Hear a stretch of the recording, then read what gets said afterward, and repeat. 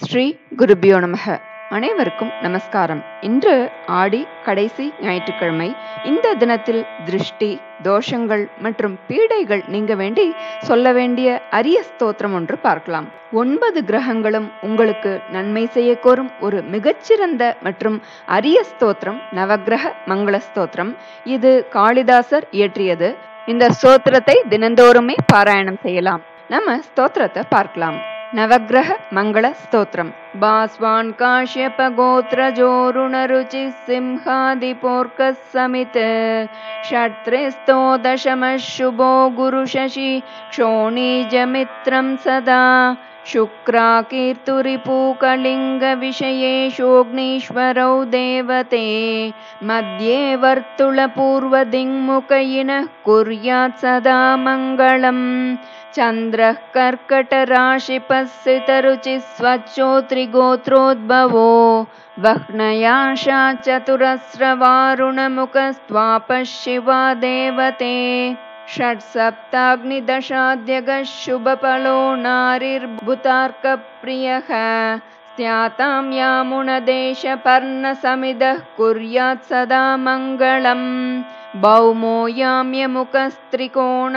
लयो वन्तीश्वरः कादिरः त्विद्मो वृश्चिकमेषपोषि सुहृदः सूर्येन्दुजीवा स्मृताः ञोरिषट्त्रिनगः शुभोत वसुधा स्कन्दौ क्रमाद्देवते।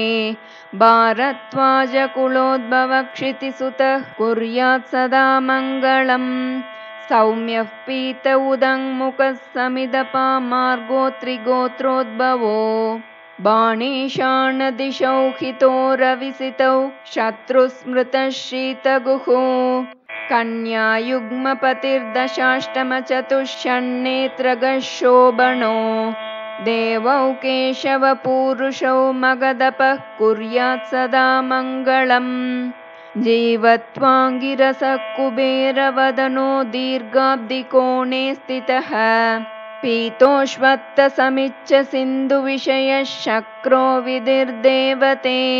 सूर्येन्दुक्षितिजप्रियो बुधसितौ शत्रुधनुर्मीनपः सप्ताङ्गद्विसुते हितसुरगुरुः कुर्यात् सदा मङ्गलम्।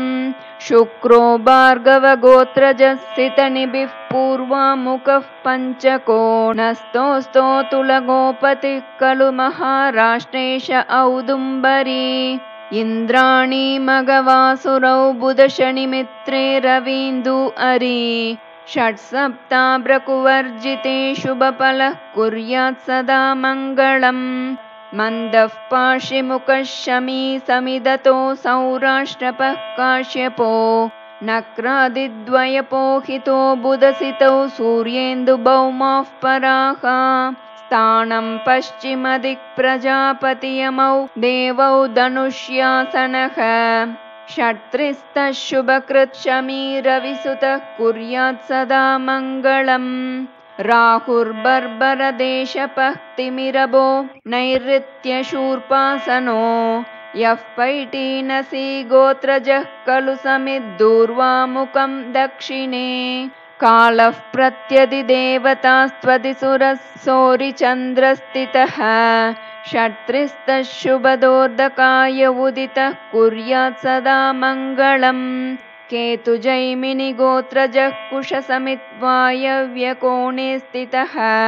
चित्राङ्कध्वजलाञ्छनो हि भगवन् यो दक्षिणाशामुखः ब्रह्मादित्रिदशालयः सुरपतिः सच्चित्रगुप्तः खगः षट्त्रिस्तश्च शुभः पलाशसदृशः कुर्यात् सदा मङ्गलम् इत्येवं ग्रहमङ्गलाष्टकमिदं लोकोपकारप्रदम् पापौगप्रशमं महत्सुखकरं सौभाग्यसंवर्धनम् यः प्रातः शृणुयात् पठेदनुदिनं श्रीकालिदासोचितं स्तोत्रं मङ्गलदायकं परिपठन् प्राप्नोत्यभीष्टं महत् इति श्रीकालिदासोचितं नवग्रहमङ्गलस्तोत्रं सम्पूर्णं श्रीगुरुभ्यो नमः